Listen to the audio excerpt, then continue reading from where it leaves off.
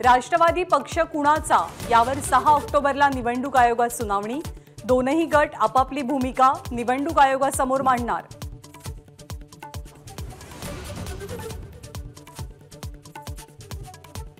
शरद पवार आणि अजित पवार आज समोरासमोर येण्याची शक्यता पुण्यामधल्या वसंतदादा शुगर इन्स्टिट्यूटच्या कार्यकारी मंडळाची बैठक.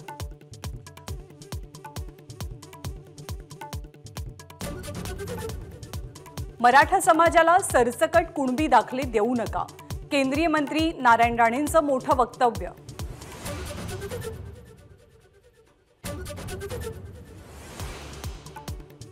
आदित्य ठाकरेंचा आज संभाजीनगरमध्ये दुष्काळ परिस्थितीचा पाहणी दौरा.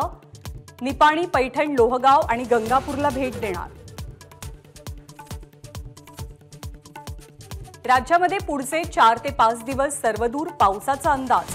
मध्य महाराष्ट्र विदर्भ आणि मराठवाड्यात मुसळधार पावसाचं भाकीत.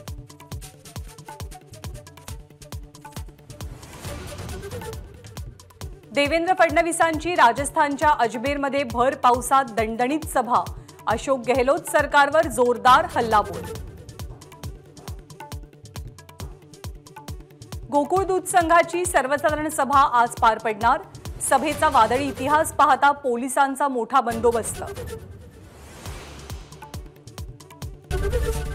एबीपी माझा. उघडा डोळे बघा नीट.